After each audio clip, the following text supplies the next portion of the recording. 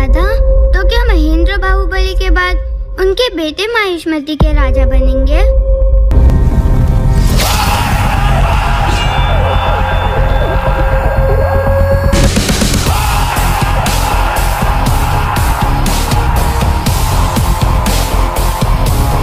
हाल ही में सूर्या की आने वाली फ़िल्म कंगुआ के निर्माता के ज्ञानवेल राजा ने एक इंटरव्यू में बाहुबली थ्री की पुष्टि करते हुए बड़ा खुलासा किया। बाहुबली की दो भाग वाली फ्रेंचाइजी के लिए प्रभास और प्रसिद्ध फ़िल्म निर्माता एस एस राजामौली के सहयोग ने भारतीय सिनेमा की गतिशीलता को हमेशा के लिए बदल दिया। दोनों भाग बॉक्स ऑफ़िस पर ब्लॉकबस्टर साबित हुए और उन्हें अपने शानदार वीएफएक्स कहानी, पटकथा और सबसे महत्वपूर्ण कलाकारों के प्रदर्शन के लिए व्यापक पहचान और सराहना मिली। हाल ही में सूर्या की आने वाली फ़िल्म गंगुआ के निर्माता के ई ज्ञानवेल राजा ने एक इंटरव्यू में बाहुबली थ्री की पुष्टि करते हुए बड़ा खुलासा किया। मीडिया रिपोर्ट के मुताबिक के ई ज्ञानवेल राजा ने कहा, बाहुबली थ्री योजना के चरण में है।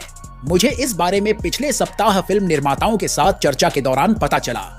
उन्होंने एक के बाद एक बाहुबली वन और टू बनाई, लेकिन अब वे एक अंतराल के बाद बाहुबली थ्री की योजना बना रहे हैं। इसके अलावा के ई, ज्ञानवेल राजा ने कहा कि प्रभास, अमिताभ बच्चन, कमल हासन और दीपिका पादुकोण अभिनीत, कल की 2898 एडी का सीक्वल दो और फ़िल्मों के बाद रिलीज़ किया जाए। ज्ञानवेल राजा ने यह समझाने के लिए सूर्या की सिंघम सीरीज़ का उदाहरण दिया कि दर्शकों को सीक्वल में फिर से उनका आनंद लेने के लिए किरदारों से जुड़ने की ज़रूरत है। इसके अलावा उन्होंने खुलासा किया कि सलार 2 भी अपने पहले भाग से उचित अंतराल के बाद रिलीज़ होगी 2017 में। अनुभवी पटकथा लेखक केवी विजेंद्र प्रसाद ने फ़िल्म के बारे में बात की और बाहुबली थ्री की संभावना से इनकार किया। इसके अलावा इंडिया टुडे की एक रिपोर्ट के अनुसार प्रभास ने भी भाग थ्री की संभावना से इनकार किया था और कहा था, हमने बाहुबली की कहानी पूरी कर ली है।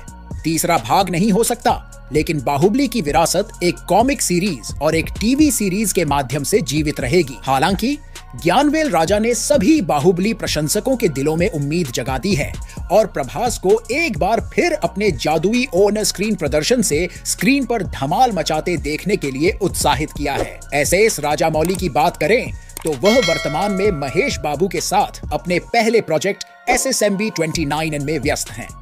हालाँकि आगामी फ़िल्म के बारे में बहुत सी जानकारी गुप्त रखी गई है, लेकिन कई रिपोर्टों से पता चलता है कि S S M B twenty nine को एक ग्लोब ट्रॉटिंग साहसिक फ़िल्म माना जा रहा है।